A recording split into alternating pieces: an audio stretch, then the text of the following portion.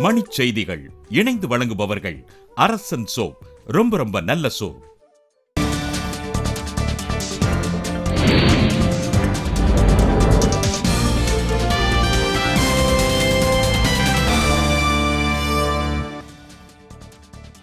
தமிழக சட்டப்பேரவையில் இரண்டாயிரத்து பதினெட்டு பத்தொன்பதாம் ஆண்டுக்கான நிதிநிலை அறிக்கை இன்று தாக்கல்.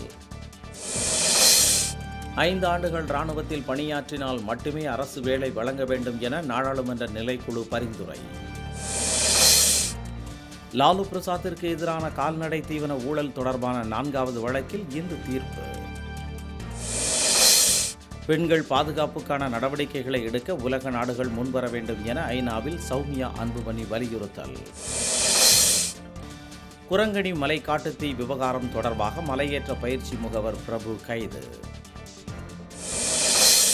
இரோம் சர்மிளா கடவுச்சீட்டு தொடர்பான வழக்கில் மதுரை மண்டல கடவுச்சீட்டு அதிகாரி பதிலளிக்க உயர்நீதிமன்றம் ஆணை. திருமணத்தை பதிவு செய்ய ஆதார் எண் கட்டாயமில்லை என தமிழக அரசு அறிவிப்பு.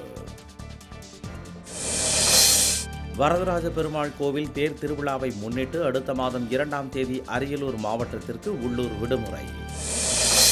உலகின் மகிழ்ச்சியான நாடுகளின் பட்டியலில் இந்தியா நூற்று முப்பத்து மூன்றாவது இடத்தில் உள்ளதாக ஐநா ஆய்வில் தகவல். பாகிஸ்தான் முன்னாள் பிரதமர் நவாஸ் ஷெரீப் வீட்டருகே தீவிரவாதிகள் நடத்திய வெடிகுண்டு தாக்குதலில் ஒன்பது பேர் பலி. மணிச் செய்திகள். இணைந்து வழங்கியவர்கள் அரசன் சோப். ரொம்ப ரொம்ப நல்ல சோப்.